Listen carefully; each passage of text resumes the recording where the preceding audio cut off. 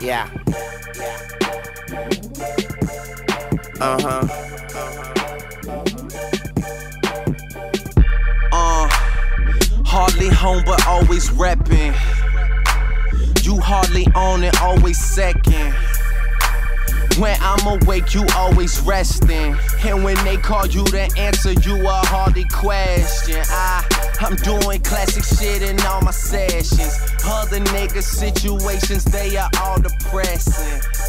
That's why I never follow y'all suggestions. I just always did my own thing. Now I run the game. You stupid mother suckers. I see all this money through my Ohio State Buckeyes. Going good, but good could turn to better. Cause you the type to loser, and I'm.